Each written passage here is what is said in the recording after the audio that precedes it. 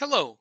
In this video we'll demonstrate how to use VSS to make an error vector magnitude measurement and we'll also discuss the key components that are needed to make the measurement.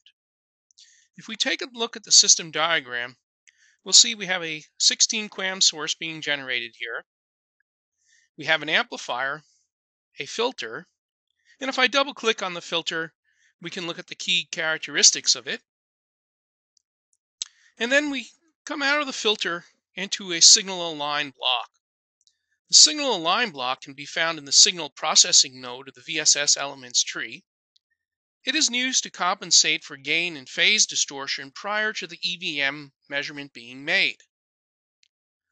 The outputs of the signal align block are then fed into two receivers. These receivers are used to detect incoming symbols and plot the reference IQ plot along with the measured IQ plot or the constellation plot. And the network analyzer found in the elements tree of VSS under the no network analyzer is used to make the physical EVM measurement, the comparison of the reference IQ plot along with the measured IQ plot. So in this graph, we have that exactly displayed, the reference IQ plot, or the red circles, and the measured points, the blue triangles, are the result of passing the signal through the amplifier and the filter and then being corrected by the signal align block prior to making the EVM measurement. In this table, or I should say IQ plot, we see the raw IQ transmitted signal and the intersymbol interference here is due to the root raised cosine filtering used on the in phase and quadrature signal. The table that we're most interested in is this here. And in this case, the VSS simulation is running continuously.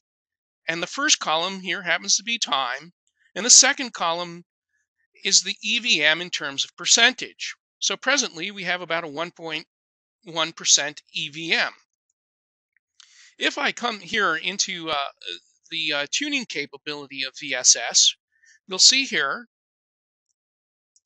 that I can tune on the signal power that's just before the filter, which is currently minus 30 dBm.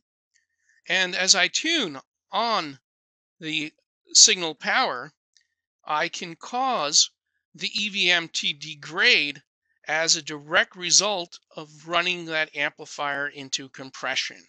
And we can clearly see here that I have, have the signal in com compression due to the IQ plot. And we can look at the resulting EVM, in this case, uh, 6%, with the uh, corrections due to the signal align block. If we come over here to the uh, project tree, the physical EVM measurement is specified in this window.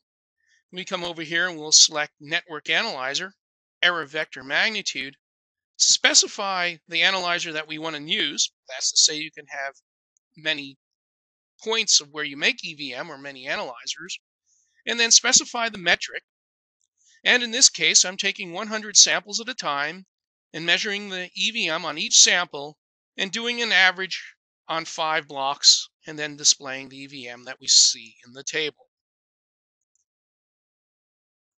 For further information about making EVM measurements, or for that matter, working with VSS, you can come over here and go File, Open Example, and type in a particular subject. In this case, I typed in EVM, and you'll see several test benches that you can look and read further on how to make EVM measurements in VSS. And in fact, the very first example project over here will also show you how to make VSS co-simulate with Microwave Office and make the follow following EVM or error vector magnitude measurement.